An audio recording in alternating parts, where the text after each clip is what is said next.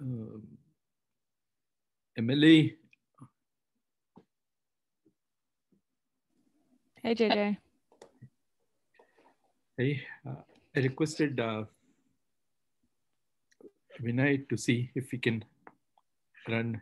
Uh, I have like this bad throat and cough thing. So I'll listen in. Right? Okay. I'm just gonna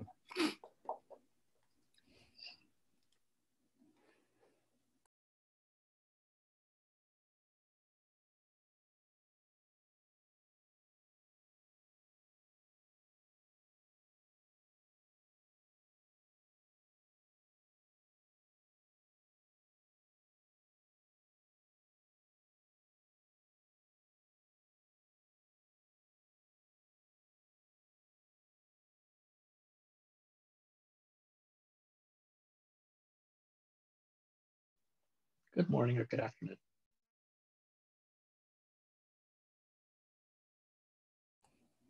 All right, everyone, we're going to give folks a couple more minutes to get dialed in. Vinay, are you good to facilitate? Yes. Awesome song. Uh, yeah, I'll take two minutes to, to set up the document and stuff, I guess. It's already set up. We're ready for you to run it. All right. We just Yeah. need scribes. Yeah. Okay. Let me see.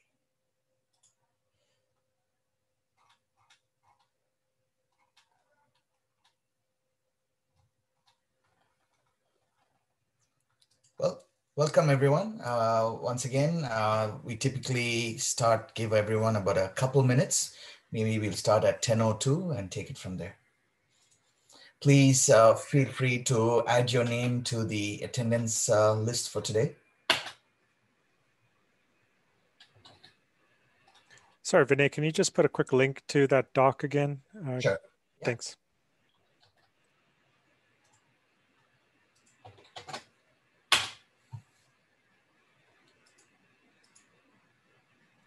Thanks. Sure thing.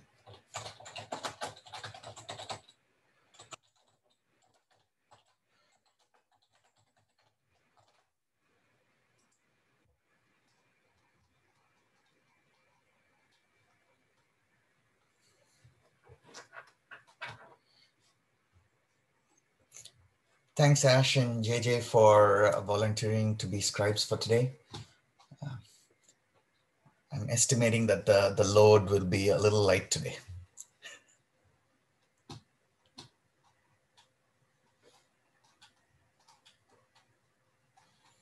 All right, everyone, let's get started. Uh, uh, maybe just to uh, recap, I mean, go through the list and then I'll do a really recap. Uh, does uh, anybody have anything that they would like to uh, update the team, uh, the group on? Uh, anything that you'd like to discuss at this time? I don't see any updates at this point, but I just want to make sure that, everybody has had a chance to update the list. I actually have one. Oh, yep. Go ahead, uh, Emily. I totally forgot about it. Um, so big news, everybody. We now have an APAC region SIG security meeting set up and scheduled. The PR was merged into the repo. So if you're interested, go check out the meeting information. This is a huge thing for us because now it means that we can increase the amount of SIG contributors and take on the activities that we've been talking about for a long time with more and more involvement. So this is a really great thing for us. That's awesome. That's awesome. Uh, and um, thanks, Emily. Uh, As I go down the list, uh, Magno, I see you, you have something that you'd like to talk about. Please go ahead. Hi. Yes. Um, so I've contacted Jen Burns from MITRE, and she agreed to speak with us on our uh, meeting on February 10th.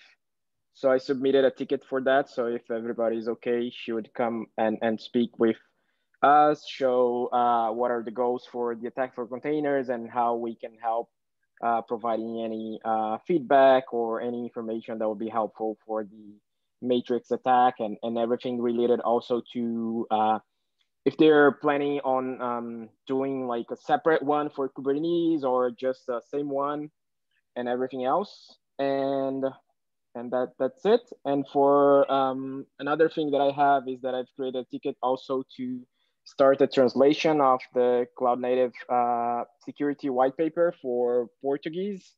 And I have a group of people interested, so we're probably gonna start that off uh, probably this week or the next one. Uh, and it should be done, uh, I think, in four to six weeks. Awesome, that's fantastic. Uh, thanks, thanks, Magno. Yeah, it'll be uh, interesting to hear from um, Jen on how we can, you know, map the MITRE ATT&CK uh, framework to a lot of the, to Kubernetes and containers in general. That's awesome. So I don't see uh, uh, any other updates uh, today. Um, and maybe uh, maybe I can just take this opportunity to put a couple of folks on the spot. I know last couple of weeks we had some great presentations on, you know, supply chain security and uh, you know the uh, so this is the supply chain working group. I mean, uh, Jonathan, would you like to maybe just recap on where we landed? Uh, if there's no other, maybe sure. we spend five minutes on this, and then because I know there's a lot of stuff that we talked about maybe we can just do a quick recap and figure out what the maybe the next tactical steps, how we can all figure out how we can contribute to that. Sure, uh, happy to. So um, we uh, formed the working group a couple of weeks ago. We, we initially provided a presentation looking at software factories and some of the thoughts a group of us had put together around software factories. Myself, uh, Andrew Martin and Sabri Blackman from Control Plane and uh, Justin Cormack from, from Docker. Um, it's really just some of the thoughts that we put together on, on software factories and how we could perhaps create one and some of the challenges we were thinking through around how we could um, improve the provenance of the code that we were creating and sending through that pipeline using potentially SPIFFE and in-toto, which we're still working on. But the, the wider scope of that was really a, sort of a call to arms to ask people to join uh, and perhaps form, which we've now done, uh, a working group to look at supply chain security uh, with the aim of putting together a, a white paper, an architecture, and potentially a reference uh, implementation. Well, it's a, a fairly significant uh, amount of stuff for a working group um, to, look at how, um, you know, how we can provide best practices on uh, supply chain security. So we're now in a working group that's been created. Um, we also have a Slack channel um, and we have a shared document that we're starting to um, add to, or we will be, we're, we're, doing it independently and pasting it in. And the idea is to initially put together a white paper of best practices uh, and identify gaps in, in perceived gaps in the supply chain, and then look at how we could provide an architecture to uh, provide that capability. The end goal there is a number of different end goals, but it would be it'd be really beneficial, we believe, that to provide a architecture that people could look at and potentially start to adopt uh, in the open source forum so that um, you know they can adopt that uh, that architecture and have a build platform that would then be somewhat secure and have the ability to deploy secured artifacts that are signed with SBOM material perhaps um, as a way of improving uh, the security throughout. So really that that's kind of the goal. Um, I'll, I'll, certainly post a link to the uh, to the white paper and to the to the working group. I think it was issue 510, uh, where you can take a look and see um, the the conversation uh, as it stands. We have quite a number of people offering to assist and go through that, which is fantastic. And the way I think we'll start to look at it is having people adopt or suggest topics for that white paper, and we'll progress that way. We do have a working group meetings on Fridays at 4.30 uh, GMT uh, at the moment. That was just how, uh, given the, the, the, locales of the people involved, we certainly change that if, if additional people are looking to join. And I think the next um, session we, we, we're, we're possibly going to dig into that in-toto um, and the, the signing piece, figure out how we could work with those keys as well as the, the white paper itself.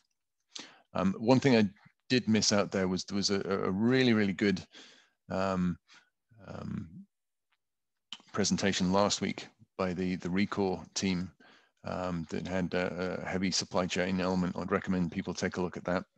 Um, and, and, also, obviously, a lot of the work that we're looking at is based on DevSecOps um, principles from the, the Department of Defense, uh, which is a document that you can read on the internet. That's awesome. Thank, thanks a lot, Jonathan. So a lot of stuff uh, there, uh, everyone, and this I think there'll be fantastic opportunity to contribute towards uh, the architecture and the white paper there. And I think we have all the links uh, up on the chat. Um, and maybe I'll take some time to maybe transfer a lot of those links to our uh, uh, meeting notes as well. Um, yeah, we're certainly, certainly welcome for, for anyone to, to assist and help with, with um, there's a lot of work to do there, and it's a it's a uh, it's a key area that uh, a lot of people are really interested in and contributing. So uh, certainly open to all. Right, Jonathan.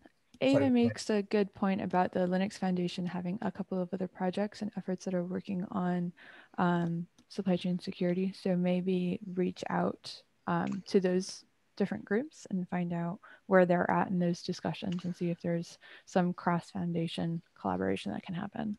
Great call out uh, as well. I'm so, happy to connect as well. Uh, one of the founding members of, I think both of those foundations is here in Microsoft with me. So please, if you could reach out to, to, to me uh, and I'll reach out to you to, to connect that because um, that, that's definitely something that we'd, we'd like to do. We, we, we have made initial uh, conversations with the Open uh, SSF um, and I, I, think there's um, there's additional work happening in the SBOM community. There's a number of different SBOM communities that we're trying to tie into this as well. Uh, great point, Emily, though, because the, there is a huge amount of work in individual pockets. So that's one of the sort of suggestions we're, we're sort of pointing out what we're trying to do is, is trying to connect those dots and, and try and reach out to those different groups and perhaps provide that architecture across the top. Because we see it as there's, there's individual point solutions for these different areas, but not mm. necessarily joined up approach. Given the that this is a CNCF working group, I, I would assume that the focus is going to be on the CNCF projects and workflows, whereas I know both OpenSSF and CD Foundation are looking at the broader, like open source as a whole so there's probably some good tie-ins there, but the scoping of this is very different. We, we, are actually keeping it fairly generic, but but also very cognizant of making sure we connect to those exact groups. So I, I, I didn't mention them earlier on, but we, we are trying to reach out to those groups. Uh, I'm, I'm certainly uh, working with a couple of members of OpenSSF, and we, we do want to expand that. So we're not duplicating any of that work, but just pointing to it. Um, I'll happily connect you. Yeah. Thank you. Really appreciate that.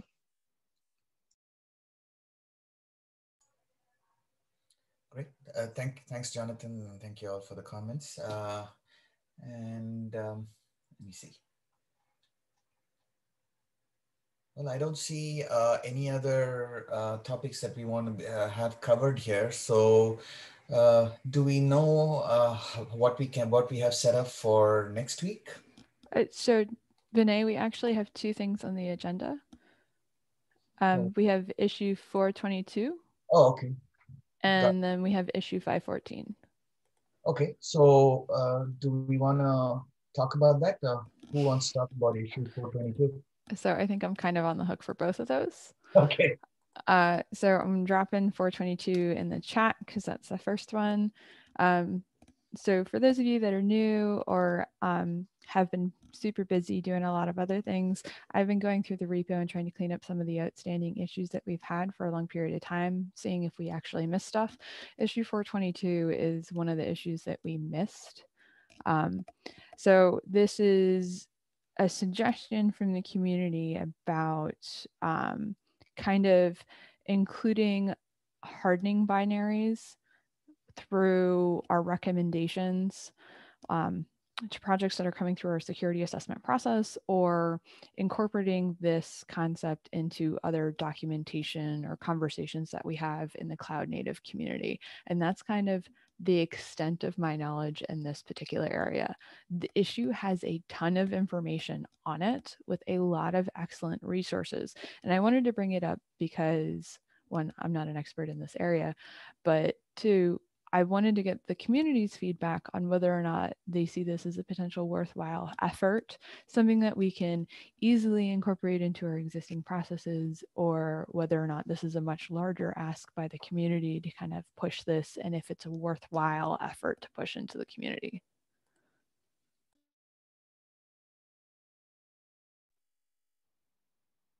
The first thing that comes to mind there is you'd have to do it in a a little more language agnostic way than what this issue shows, but um, it's worth considering. And we, we've talked in the past, or at least we've had other discussions for potential efforts about um, setting up automated hardening for cloud native product projects in their development. That way they they have like a standard framework to be leveraging to ensure that like the base distribution of all cloud native projects is secure. So I'm not quite sure how this fits in with that, but I do know that we've talked about that in the past. Um, I think there was a proposal on it, but I don't have the, the ticket number if it was even a ticket. Maybe I'd like to uh, have a sound out a few thoughts, Emily, is, uh, I mean, uh, if uh, we can definitely have these guidance kind of uh, documents and made available to all the project teams and, and make them aware of, let's say, hardening flags, if you will, as we perform assessments. So that, that's one way. And the second way to only, how do you say, test and enforce it is, you know, I don't know when, we, maybe the first meeting of this year, we talked about this, the automation that you talked talked about, right? When we, the automated and security uh, scans, if you will, generically speaking, if we're able to do that, then that would be, a, this would be a great uh, uh, dimension to that effort as well. So I think there is some correlation there. Let's say start with the scan, right? And then add in hardening. Hard, hardening sounds great. I know if we had this conversation 10 years ago, there'd be a good chance of breaking things. I think that sort of decreased a lot, but um, some folks are still going to be worried about that, I think. Yeah, uh, I agree. And um, sorry, just to clarify, I'm only talking about from a guidance perspective, right? Okay, so sorry, I missed that word. Yeah, the, the the owners of the projects, we're just saying, hey, this is something that we are familiar, with, we provide guidance on, and we ran your project through our flags, if you will, and this is what we found missing, and you know, not to break anything from their pipeline perspective. At least that's my sense, uh, given where we are today.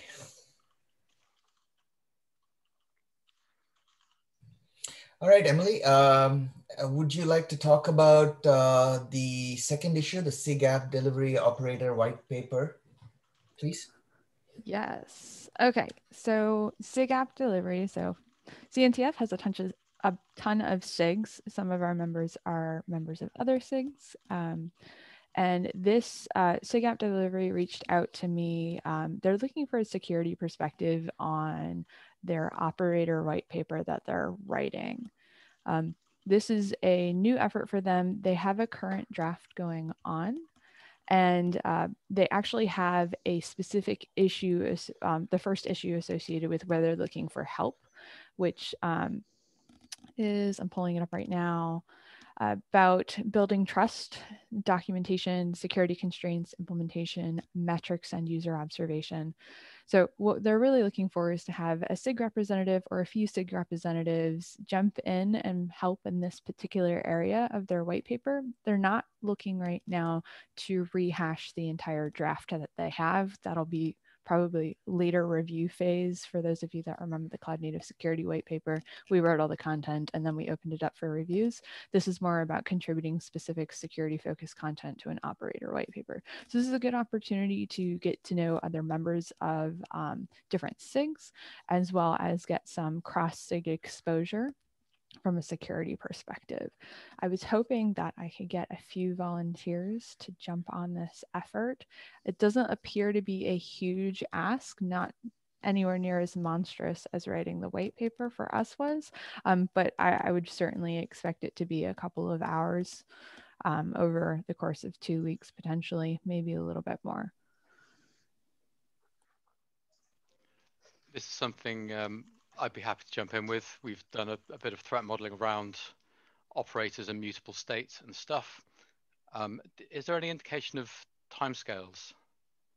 Not that I know of. So um, the ticket actually has the POCs for it. So I would recommend reaching out to them and jumping in the SIG app delivery channel. So Cameron and Andrew, if you guys could comment on the ticket that you're interested and then jump over into the SIG app delivery channel and let them know that you guys are going to get on that and help them out. That would be great. And we would love to hear at another meeting about how it's going. Same goes yep, for anybody that's interested. Awesome. Thanks, thanks, Emily. And uh, I guess uh, the for the folks who volunteered, please uh, you know chime in on on that ticket and make sure that you you have all the necessary resources and get connected. Uh, did I miss anything? And sorry, I'm going to look to you, Emily. Did I did we cover all the uh, agenda items? I think that was actually everything that we had legitimately written down. Okay.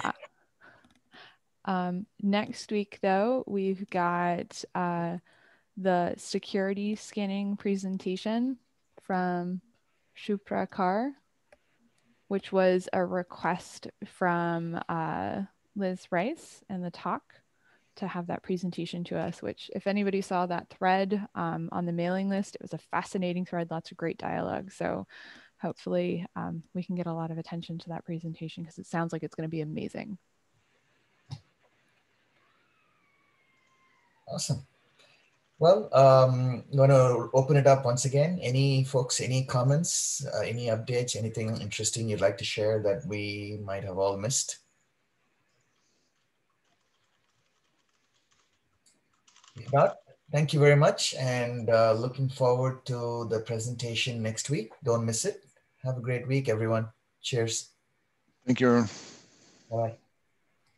Cheers. Bye.